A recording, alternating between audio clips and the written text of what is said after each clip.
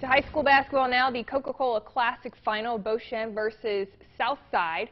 First quarter action, Bryson Colbert to Jason Bro from beyond the arc. It's good. Southside takes the early lead. Titus Thomas gets things going for the Gators, drains the tray here. It's a two-point game.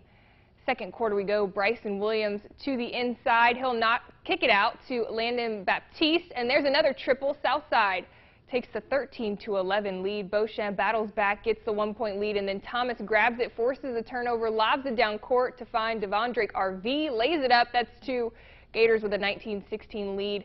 With two to go until half, Bro now to Baptiste to Williams, who knocks down the three. It was tied at 21 at half, and in overtime, Beau Chene wins it 71 to 66. What a game.